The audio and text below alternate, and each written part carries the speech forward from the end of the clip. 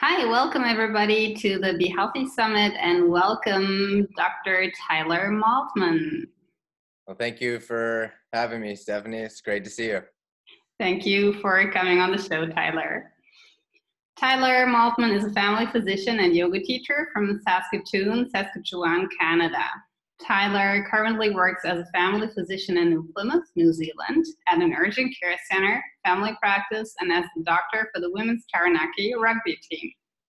Previous to, he, to this, he worked in Saskatoon at the Mediclinic University Students Health Center as a clinical professor at the College of Medicine. So happy to have you on, Tyler. Can you tell us a little bit about yourself? What is your story?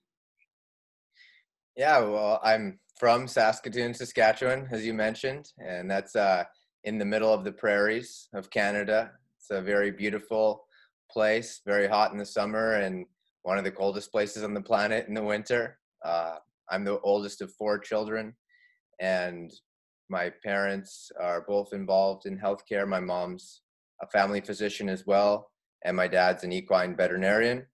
So I always grew up around medicine and Saskatoon's where I did all of my education, all the way through into medical school, and then I moved out to Victoria in British Columbia of Canada to complete my training in family medicine. Um, it was during medical school though that I became interested in holistic health and healing, and uh, that's what led me to uh, the practice of yoga and meditation and ultimately how I ended up meeting you. Um, I became interested in holistic healing because of chronic pain that I had. Uh, when I was 18, I had surgery on my left shoulder to repair a rotator cuff injury. And during that surgery, there was a complication where a medication was injected directly into the joint and killed all of my cartilage. So I had severe chronic pain, and all that was offered to me from the traditional Western surgeons and physicians was more surgery and medication. And I was not interested in that because I didn't believe that it would actually help my problem. And so I decided to seek out what people use for healing before the advent of this modern medical system that I'd been a part of my whole life and benefited from a lot as well, but uh, was not able to find any help. And that's when I realized the power of meditation, the power of yoga, how to use food as medicine. And really, that's what continues to drive my passion for holistic healing, the benefit that it's had in my life and now the benefits I see in my patients' lives. Um, I'm actually uh, recently accepted to the fellowship in integrative medicine at the University of Arizona. So I'll be starting that in February 2020. And I'm really excited to become formally educated in integrative medicine so that I can incorporate that even more into my practice. Awesome. Congratulations on that. Thank you. So, how is it now with your shoulder? Are you still in pain or did you find a way out? So, eh, now I say I live with chronic pain, uh, whereas before I was suffering from chronic pain. And so, uh, I, sitting here right now staring at you, have no pain. And before I was in this daily routine of treating my pain. Um, I had constant pain that woke me up at night, that prevented me from being able to focus during exams, and uh, really just impacted my overall health in a very negative way. And uh, through this holistic approach to my chronic pain management, I can honestly say that my pain is well in control now, and that there's a lot of times where I have no pain and I'm able to sleep through the night and I'm able to participate in sports and my job without being distracted by the pain in my shoulder. Oh, that's wonderful. And you were actually super active in sports, right? Yeah, no, it's, uh, I mean, sports have been a part of my life since I was uh, a child. I grew up playing ice hockey. I've always been avid snowboarder. I love weightlifting and all of those are very taxing on my joints, especially my shoulder. And so um, it's through a lot of these healing modalities, especially yoga, uh, that has allowed me to maintain the range of motion that I need and the strength with my injury to continue to participate and enjoy these sports because for a while I wasn't. For a while I stopped playing hockey. I stopped uh, playing a lot of the sports I love because of the pain it would cause. And so um, having these daily maintenance regimes plus accessing complementary and alternative medicines, I've been able to regain my function to the point where I enjoy the sports again. Hmm. Yeah, that's so beautiful. I, I know what you were talking about. I had the same thing when I was very much into martial arts and I actually overdid it and I was in so much pain, knee pain and back pain that I had to stop and that is so frustrating. And you just want to get back to sports and for me it was also yoga which helped me so can you go a little bit more into that you i know that you um, take yoga as a, a, medical prescription actually for people when they have certain elements. what do you do exactly yeah so the way that that all started for me was part of my treatment for the, my own chronic pain and uh, it's developed into the style of yoga that I now teach called medicinal yoga.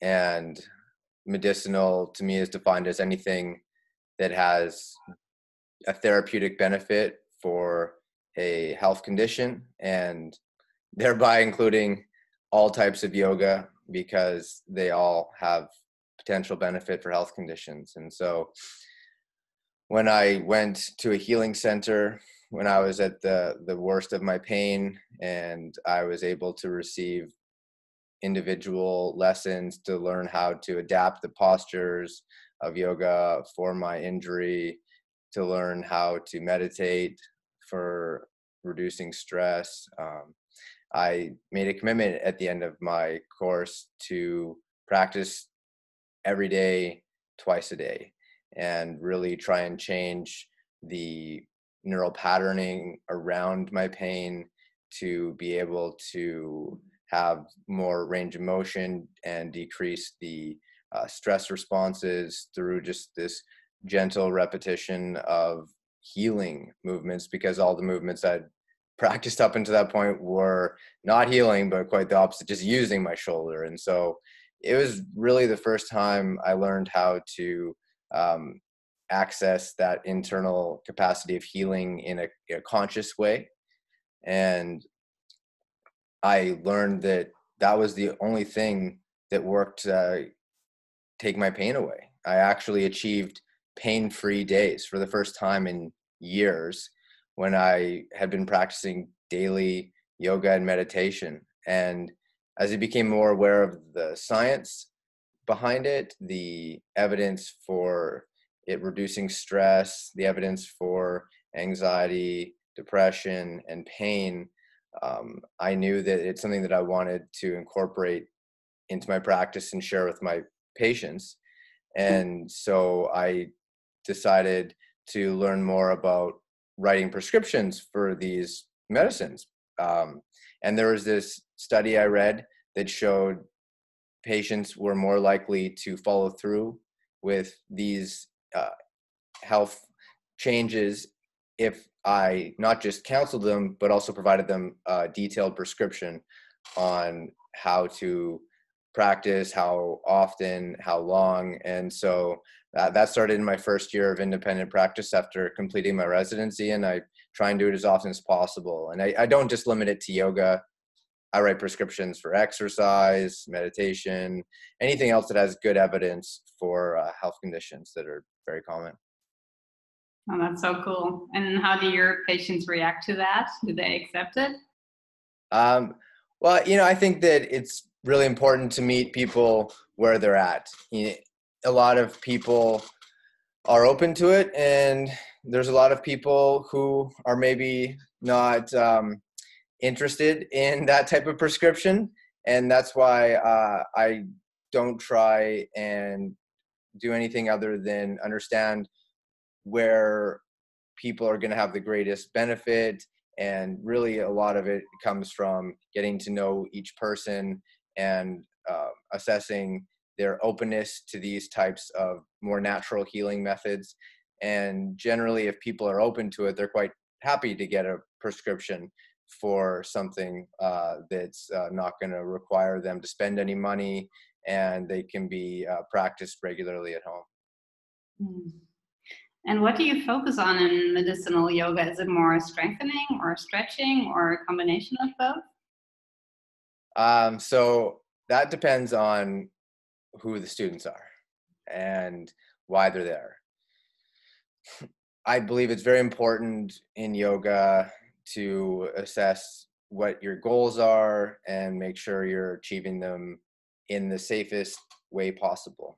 And a lot of that comes back to uh, understanding your physical limitations, injuries, uh, your own unique skeleton shape, your myofascial restrictions from scar tissue, and then uh, what your intentions are and why you're there. And so I've done group classes for young groups of people like medical students where they prefer a bit more of the uh, vigorous yoga, the yang at the start, and then I'll finish with yin.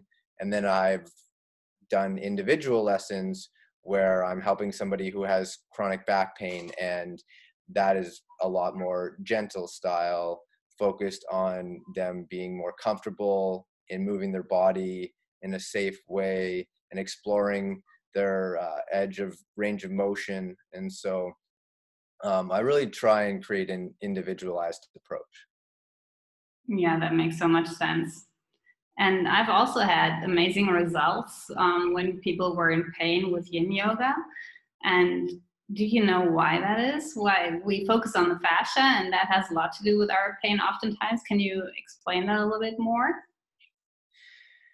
Yeah, so I mean, as you know personally, it helped with your pain that you experienced and your injuries, and it's helped me a lot with the pain I experienced. And so um, I decided to try and learn as much about that as possible. And uh, the answer is we have some ideas, but we don't have the complete understanding yet from um, a scientific point of view as to why it works well for chronic pain for some people um, you know and I, I, guess that would be the main thing is it's not going to work for everybody but i think something like yin yoga if practiced in a safe way and um, you're aware of your limitations generally has very little associated risk and so in that i, I think it's always worthwhile to at least explore if uh, this practice of yin yoga especially can work for chronic pain I think that yin yoga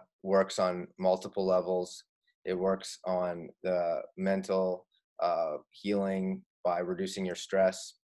You know, it's there's solid evidence to show that regular yoga practice decreases levels of your cortisol, and that's a stress hormone that is important in acute stress, but for chronic stresses, especially chronic pain, is very detrimental to your health and exacerbates that pain.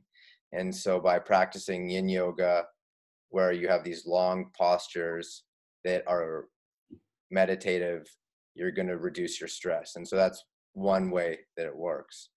The other way too uh, is, as you know, it works on connective tissue. Uh, connective tissues are a substance that take time and um, patience to stretch out. And they're quite different than muscle. You know, muscle can generally be effectively stretched within 30 to 60 seconds. And you're not really gaining that much more benefit beyond that for a muscle. Whereas in yin yoga, you're focusing on the stretching and stress, healthy stress. You can always overdo it, but uh, the healthy stress of connective tissue, especially around joints. And I think that that remodeling of the connective tissue, especially for myself around my shoulder joint, uh, has been very beneficial to decreasing my pain through improving its range of motion. And I, from a more traditional yoga sense, um, in looking at the meridian theory and the flow of chi in the body, it helps to um, open those channels and allow energy flow better. Uh, and that's something that's very new in a scientific understanding. There is growing evidence and treatments like acupuncture access the meridian theory, other things that have uh, evidence. It's becoming more of a, a, known benefit but that's something that's been around for thousands of years and i think that that's why it's still practiced is because people have that intuitive sense of the improvement of the energy flow to certain areas of their body when they're practicing yin yoga and so that's why i think it's so powerful is because it accesses all different aspects of your being. Yeah that's also what i love about the practice and what you just mentioned about the muscle and the connective tissue just shows us how important it is to to do both actually to be active in sports but to also do the stretching to um, yeah make it a make it a perfect uh, combination right? To not yeah, exactly. one thing. Yeah because then it can just get too one-sided and that's also what i had in my martial arts practice. I just did the yang part and not really the yin part and that's why i was depleted in my yin energy and that's why uh, i had all that pain because my fascia was actually screaming and wanted to tell me i also need some tension not just muscles. Yeah oh yeah. Yeah, yeah. when your body's in pain like that you know i think you identified it correctly that it's telling you something it's trying to communicate. And if you listen to pain as difficult as that is it can be one of the greatest teachers you'll ever have. Yeah absolutely. I love that approach but so many people are not familiar with that. That's that's why probably why so many people just say to your doctor i just want the pill. Give me a pill to heal. But that's not the the way to go right yeah, I think that it's important to uh, look at where's the pain coming from, and I think it comes back to that idea that you want to create uh, a personalized approach rather than um, choosing conventional or natural, because a lot of the time you need to access both and making sure that you're utilizing it, especially if someone's in acute pain from surgery or an accident. And, and there are very effective medications that we have created through our advances in science that um, are amazing. But for chronic pain, uh, the evidence around medication, eh, depending on the source of the pain, is really limited. And I think that's when it's uh, essential to um, make sure people are accessing all of the holistic approach towards chronic pain, whether it's exercise, diet, nutrition, proper sleep, and everything else that will uh, help promote healing. Because, um, you know, as a society, uh, we are uh, all a part of this zeitgeist towards um, new technology, science, giving us a greater understanding of the world. And part of that has been the invention of these medications that are in the form of a pill and a lot of them save lives. Antibiotics save lives. Um, pain pills for people in acute pain get rid of their pain. And and so we, we went through that exciting phase where we believed in the almost infinite expansion of our knowledge especially in medicine. And you know there was this um, trend towards an idea that we were going to solve everything with it but we have reached limitations in that now and we know that especially for chronic conditions you uh, are quite often going to find more benefit with little to no negative side effects with these holistic and natural healing approaches and so i think you're seeing people trending back towards the natural therapies and also a lot of people trying to find a balance between the two because they know that it's not one or the other but what works best for the individual at that time. Not easy though especially when you're going to try and change a habit like you practicing yang activity your whole life and now you have to uh, train your body and mind to enjoy yin and um, it, it, takes time and i know that for myself it took many months and still takes a lot of effort to maintain that that balance between the two. Yes for sure. And you also mentioned nutrition and diet and i'm also a nutritionist myself and i see that there are so many people just super confused with all the diets which are around and they don't really know what opinions to follow anymore. What's what's your approach to the, to nutrition? What do you think makes sense? Uh, well, I think that uh, food should be looked at as medicine, and uh, that idea that everything that you're ingesting is going to become the building blocks of your cells. It's going to create the essence of who you are in a lot of ways, and respecting it in that form is extremely important. Um, in terms of how to translate that into uh, a diet, um, it is challenging, especially now with all of the competing diets like you talked about, and feeling confused. Uh, I know even for myself, the more that I've learned about it, sometimes the easier it is to feel confused based on conflicting evidence and based on different experts who are so certain that their way is the best way. And uh, and so i can understand why people feel overwhelmed when they're trying to make decisions about what kind of diet to follow. And so after reviewing all of the different evidence and reviewing recommendations from experts and experimenting with my own diet um, I, I guess i've tried to simplify it because i feel like it's very easy to become uh, caught up in the details and miss the overall point. And, and I think that number one, food should be enjoyed. It's something that should be flavorful and you should be excited about it. It shouldn't feel like a chore.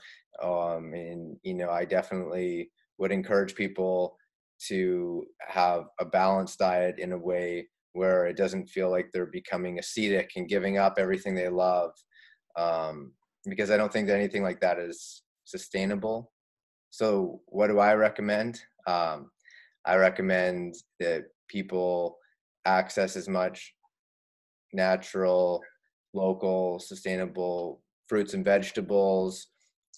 If you're going to access meats that they're from farms hopefully within the area or that they're grown in a more natural way.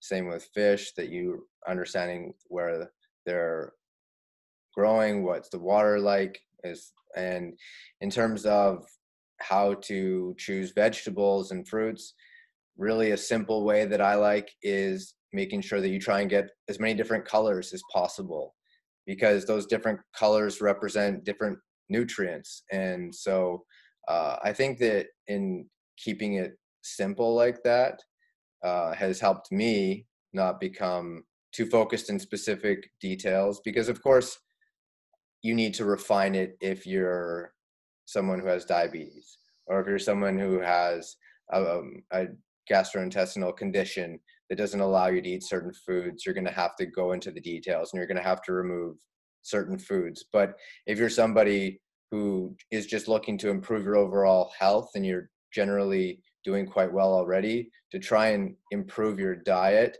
uh, i think is really going to be more of a, a lifelong journey in trying to see what works best for you.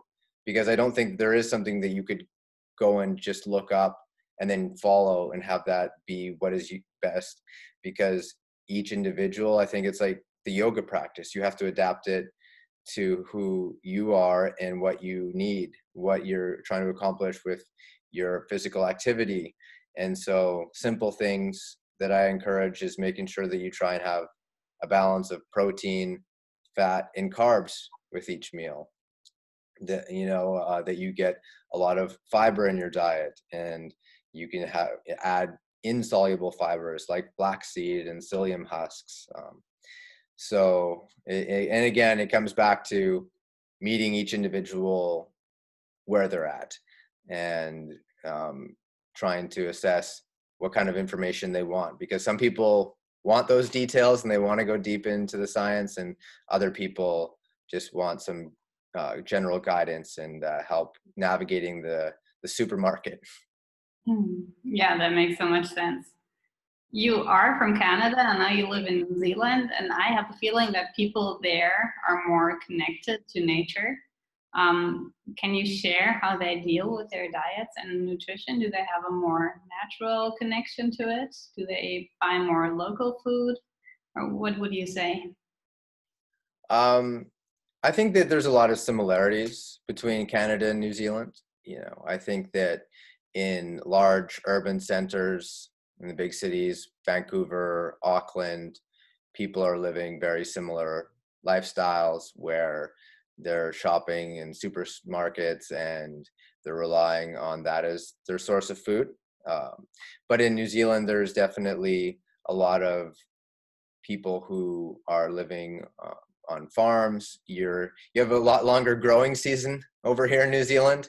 You know, people are are able to uh, harvest almost year round in some places and produce, and so I think that's the the biggest difference that I've seen there are a lot of people who are very passionate about growing uh, their food locally in an organic, sustainable manner, and and so I think that that's something that really allows for uh, people to achieve optimal health when you you can do that, and um, in, in that way it's much easier, you know, and especially in Saskatoon where I live, you know, there's times where below minus 20 and easily gets down to minus 40 or 50 sometimes. And so, um, yeah, it's uh, a lot more difficult to access fresh fruits and vegetables than it is over here in uh, this subtropical New Zealand.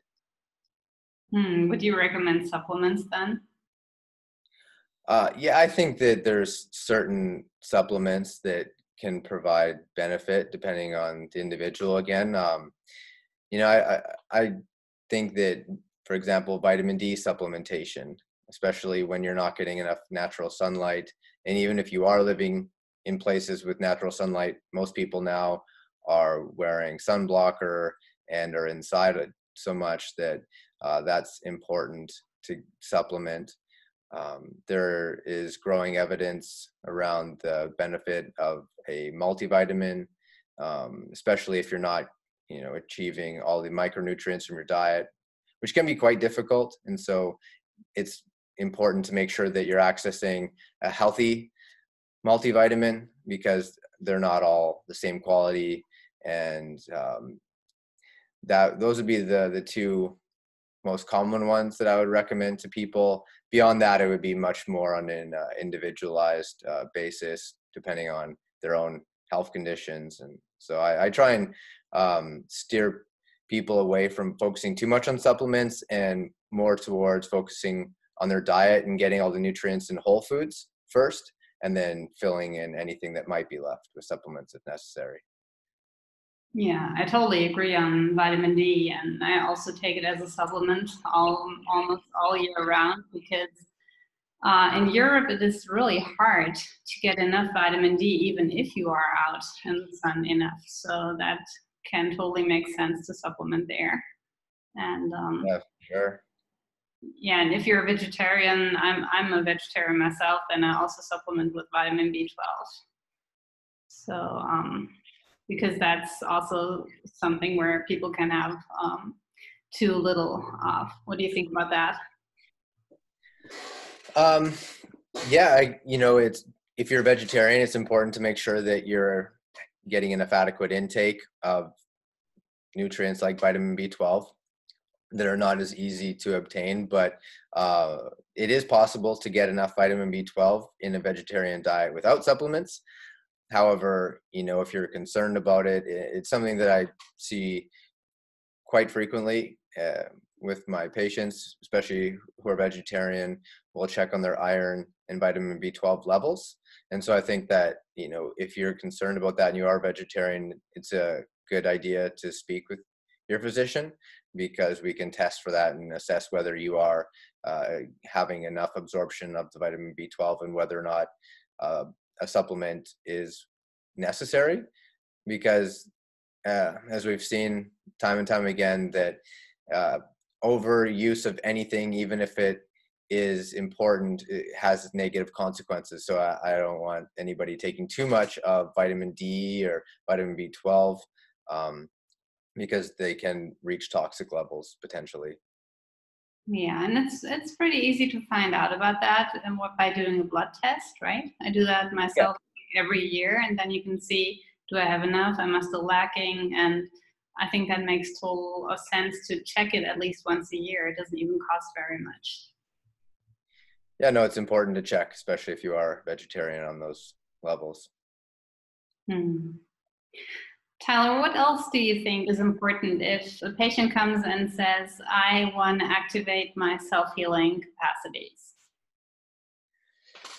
Yeah, I think that it's important to um, make sure that you're taking that holistic approach, that you're looking at the physical, the mental, and you know if people are open to it, the uh, spiritual aspect of healing, and really trying to create a balance uh, between all of those different avenues.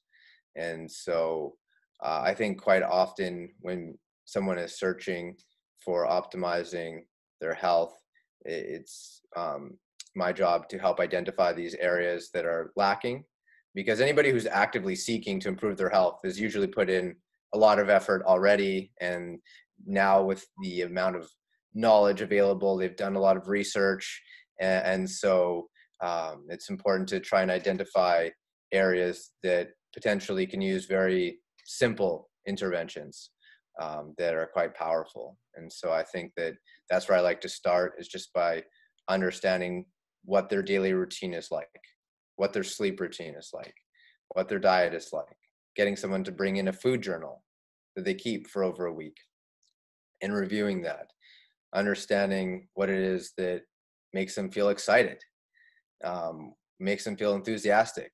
You know, when we talk about physical and mental health, that's a little bit more accepted and straightforward than when we say something like spiritual health because for a lot of people that can carry religious connotations or put them off in, in a way that um, is not uh, desirable for you know improving your relationship your therapeutic relationship. And so if people are interested in, in that aspect of health i think of it as more of what is it that makes you feel connected to that inner sense of self? You know that enthusiasm. When you look at the greek root of the word enthusiasm and theos. It's connection to the god within. And so in that way when you feel passionate and enthusiastic about life you're accessing that part of you which is capable of channeling positive energy towards the areas of your life that you want to be successful in in your personal life with your relationships in your professional life at work and then in your own capacity to be creative in whatever form that may be for you. And so i think that um, you know these kind of consults are not quick consults it takes time to uh, understand all of that and really uh, help people with it. But there are ways to accomplish it in shorter visits uh, when people are are seeking that, and so it's something that I really enjoy because it has really benefited me to um, look at all of those different aspects of health. Oh, that's incredible. That's that's such an incredible approach, but um, most medical doctors don't have the time for that. Like you just said, I think on average they have like seven minutes per patient, and that makes it really hard to find out what the reason is for their disease or ailments. What do you think people can do if their uh, doctor doesn't have the time to question these things? Where can they get help? Yeah, the time constraints put on physicians is uh, a very real challenge, and it's difficult, especially when someone comes in with complicated chronic conditions or uh, a serious acute problem to try and assess any of those other things. Like I was saying, and that's why I enjoy being uh, somebody who's trained in a Western conventional sense because it is um, important to rule out any of the serious life-threatening illnesses and access all the investigations and ability to refer to surgeons and other uh, specialists for treatment of something that is more identifiable in the seven minutes, whereas the holistic approach is not always realistic in that time. Depending though, if you have a, a good relationship with somebody and you build it over time and people are seeking that, there are effective ways to uh, utilize uh, cognitive behavioral therapy and share this information where people can come away with some knowledge. Um, but yeah, it's often not realistic. And so if you're wanting this type of health and healing to um, be something that you're getting, you know, it's important, in my opinion, to, to have a team of healthcare practitioners. Uh, physicians, you know, a lot of the time I feel quite limited in my ability to practice uh, this holistic approach. And I think that when I feel like I'm not able to offer that because I'm focused on other specific diseases or conditions we're trying to treat, and my uh, patient wants to access this, that's when I think we talk about expanding their health care team, including uh, a naturopathic physician, in, including an acupuncturist, including massage therapy, including a nutritionist, or any of the other numerous people who can provide significant benefit to them. And and so I think it's really what it is that they want and who they're looking for, making sure that they access it, and um, that there's then also, if possible, communication developed between the healthcare practitioners. You know, I always appreciate it when I get a letter from a naturopath or any of the other um, healthcare practitioners taking part in the care of my patients and they send it back and uh, i'm able to understand their perspective on uh, this patient's health and because a lot of the time they are able to take a, much longer consult and uh, a more detailed visit than i, I am in uh, the conventional system yeah, and unfortunately, oftentimes this doesn't get covered by insurance, um, at least not in Germany. But I think it's so very much worth it to pay for that yourself, to just, um, yeah, to just have that help from such wonderful experts. Yeah, that I mean the financial constraints on accessing a lot of the natural uh, methods of healing are uh, challenging, and so if um, people are interested in it and not able to afford it, I, there's different educational resources that I recommend depending on what it is they're wanting to access.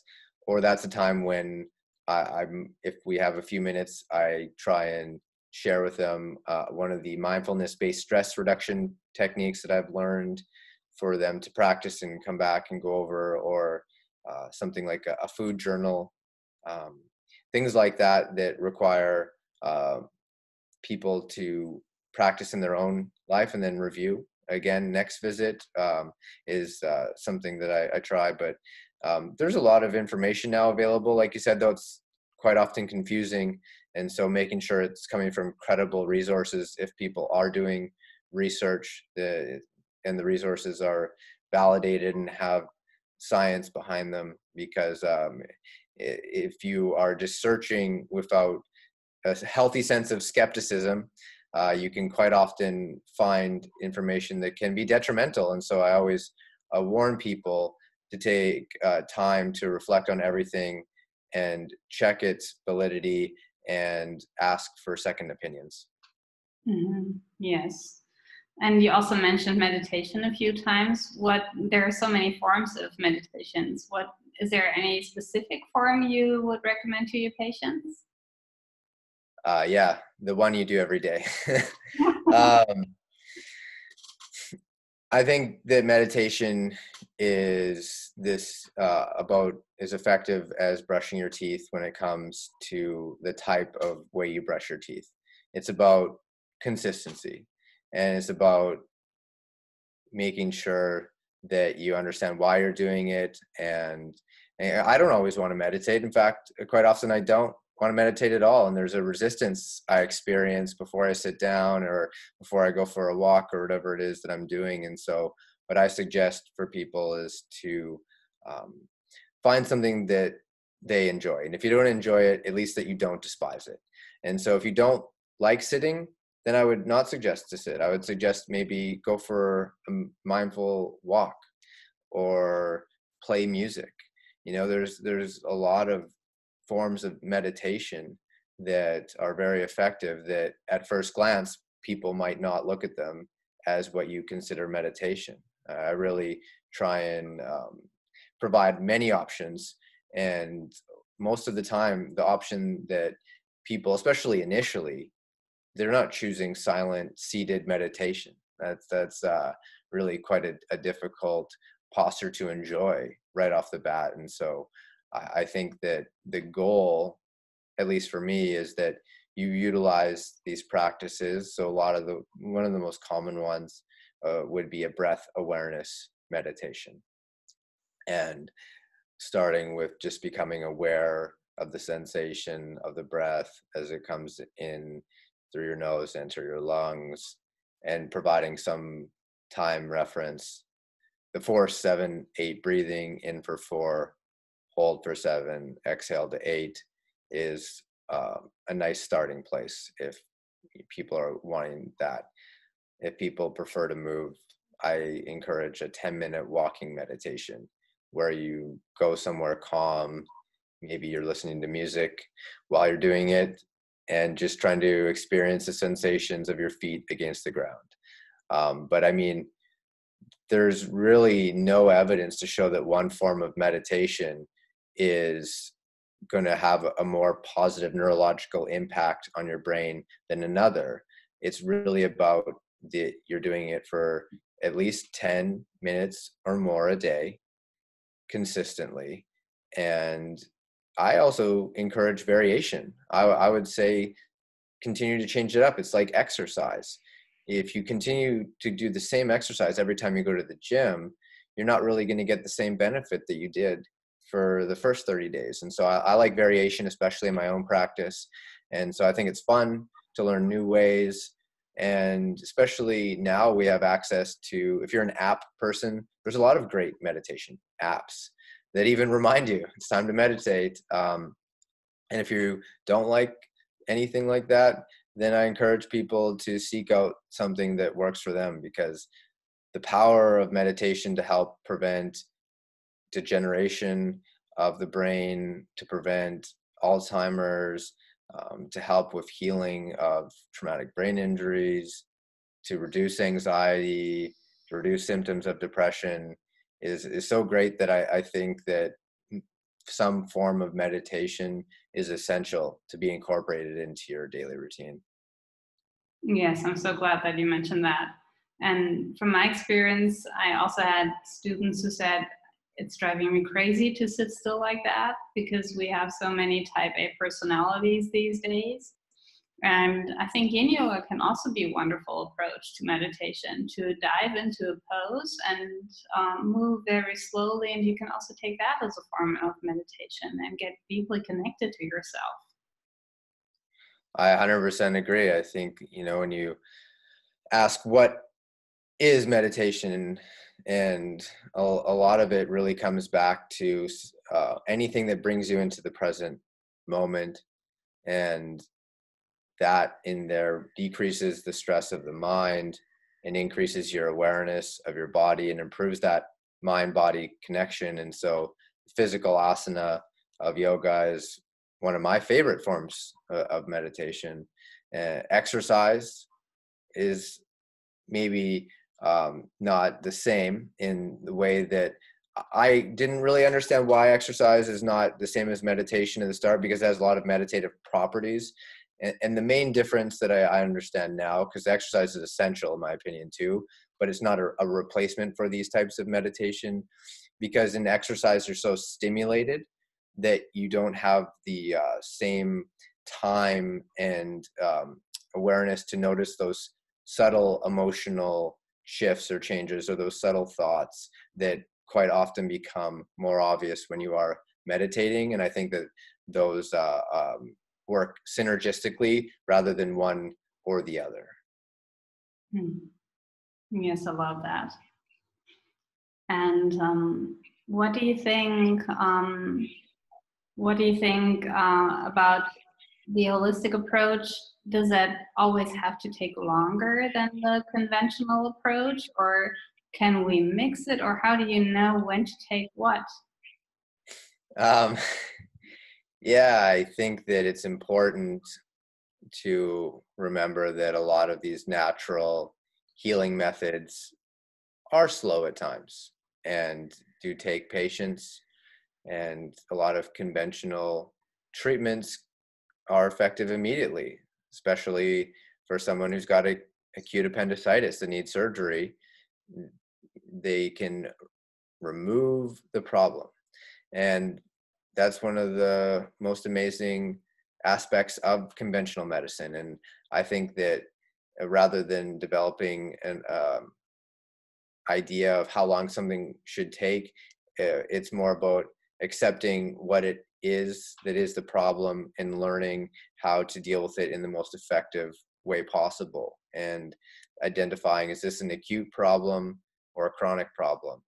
And acute problems need to be dealt with rapidly whereas chronic problems require a slow patient approach and something in the form of a meditation practice is interesting though because a lot of the changes to your brain will occur over the course of a month or two. But within 10 minutes, you can decrease the level of cortisol in your blood, which decreases your stress. And so uh, I think it's a balance, even in any of these therapies, that you do get some benefit immediately and you get an even greater benefit in the long term. It's similar to your diet if you change your diet for a few days, you can feel better quite often within those few days. But the real benefit is going to come when you get that sustained change to a healthier pattern of eating and living over the course of months and years. I would say the most powerful form of natural healing that is quite often forgotten is sleep. Uh, making sure that you get quality and enough quantity for most people that's in the seven to nine hour mark is the foundation of health. And so making sure that you're putting that as a high priority and that will help everything else in your health. Yes absolutely. And do you think it makes sense to combine the two? For sure. Yeah i think that the general trend is going to be towards integrative medicine, and that's why I, I want to learn uh, more about this. That's why I, I applied to the fellowship because it accesses the best of conventional medicine and combines that with the best of natural, complementary, and alternative into really what I think of as personalized medicine that's based on evidence and really takes into account the individual. And so I, I really like to think of being inclusive of all that works, but very skeptical of all of it, skeptical of any natural or conventional medicines without any solid evidence. And so I think that when we think about each individual and what they need, uh, a lot of the times it can fluctuate as well too. Sometimes the natural treatments have been working quite well, but then you'll need to provide a medication as an adjuvant to the treatment and that would be the most effective at that time. And so i i encourage because i have some patients who don't want any conventional treatment at all um, and, and I, I, think it's important for people to stay open to both. Hmm. and do you think the soul also plays a role when somebody gets a disease or an ailment? I think that's you know uh, what we were talking about earlier, the spiritual aspect of health, um, it's something that you need to meet each individual at where they are. For me personally, I think it's essential. I think uh, looking at your soul, your spirit, um, as part of your health is really finding out what is it that makes you feel passionate and enthusiastic and what gives you purpose without going into any uh, specific belief systems or patterns of thinking that are, are, taught to people and so that's how i define it for myself is um, what is it that makes me feel passion and excited about life? And not just internally but externally with the people in my life who i love and care about my family my friends and then finding purpose through my work. And, and in that way when um, people are looking at a holistic approach and, and i just like to ask them general questions to see if they have a belief system if they belong to any specific community and depending on that the discussion goes from there. Um, and sometimes people are, are, very open to it and other times not and, and really I don't think it, it matters if you have that discussion specifically because by helping promote people's physical and mental health, naturally that will improve their overall spiritual health as well too. And so um, I think it's more of a, quality of life. You know, you could. You, I think a lot of the times when you ask how is your quality of life, that is potentially a measure of that um, aspect of health that is not quite easily identifiable in any measured capacity that we have access to currently. Yes, and sometimes it can even be helpful for a person to get a disease to get back on track, right? When it's like like your soul wants to tell you something and you're not listening, and then you get a disease and get quiet again and um, rest more in stillness, maybe, and then you see, okay, I wasn't following my path anymore. I, I heard people say I'm grateful that I got cancer because now I'm living the life that I want to live and I didn't do that before. I see that regularly as well. And even with myself and the chronic pain that I had for several years was the motivator to make changes in my life that have ultimately had a positive impact in the direction of everything that I'm doing. And so I, I do think that it's uh, important to look at uh, disease and its root cause, and uh, really a lot of it, you know, is comes to a combination of genetic predisposition, but then also the environmental factors, your lifestyle, and um, they can be uh, an important motivator to make changes that you otherwise might not uh, find the time and energy to do if you're feeling well enough. Hmm. Tyler, do you have any favorite success stories of your patients you want to share?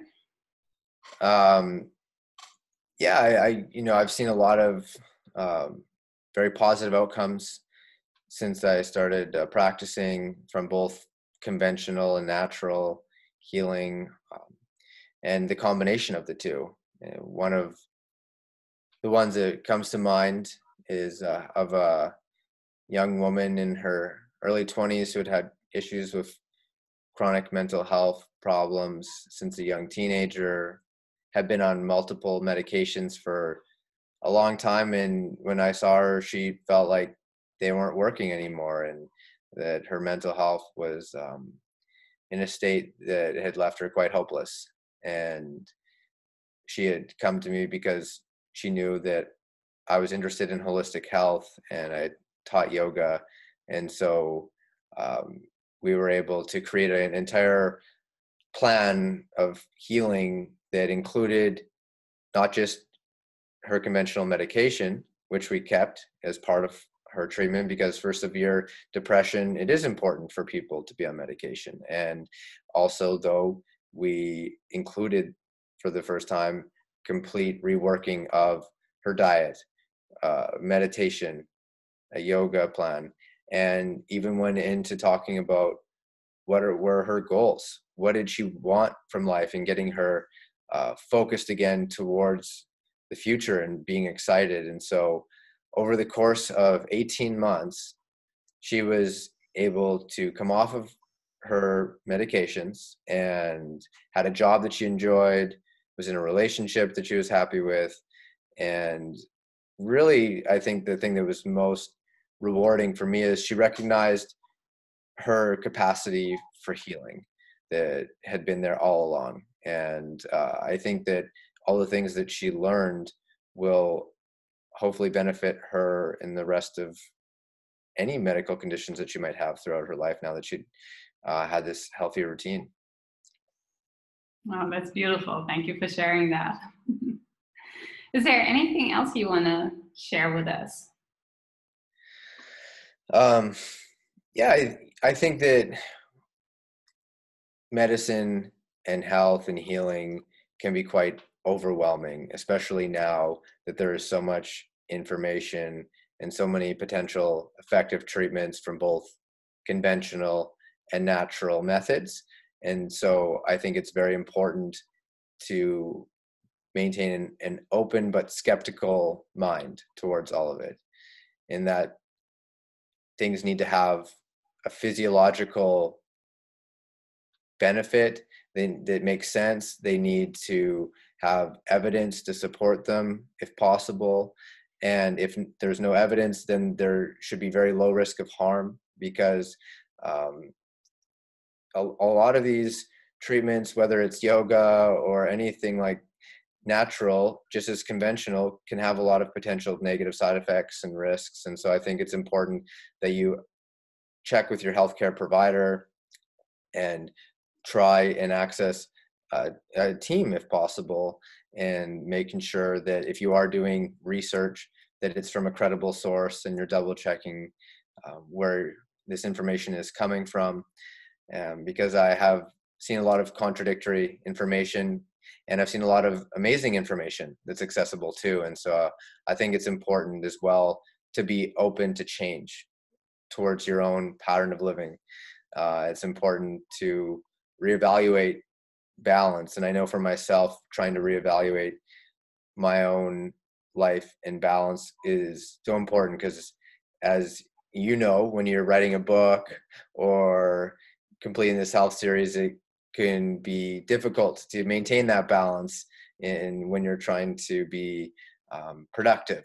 And so, uh, I guess this holistic form of healing um, is very important, but it requires continual self reflection as well and acknowledgement of when you need to have a little bit more yin yoga in your life and a little bit more relaxation. Um, and that would be the, the main takeaway point for me is I, I think it's very important to try and achieve optimal health and healing in, in a way that's sustainable. Yes, thank you so much. Uh, I can imagine that a lot of people would love to work with a healthcare provider like you with a holistic approach. Uh, where can people find you? Uh, well, thank you. Um, it's I right now I have a, a, website that people could go to tylermaltman.com.